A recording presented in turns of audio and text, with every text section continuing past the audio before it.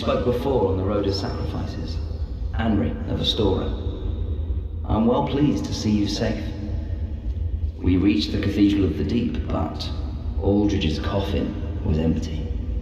The man-eater must have left for his true home. The little doll in the empty coffin told me. Aldrich is said to hail from Irithyll in the Boreal Valley, an ancient fabled city. A pilgrim told me that the city lies beyond Farron Keep, and so becomes our destination. Aldrich's honest home is Irithyll in the Boreal Valley, an ancient fabled city. A pilgrim told me that the city lies and so become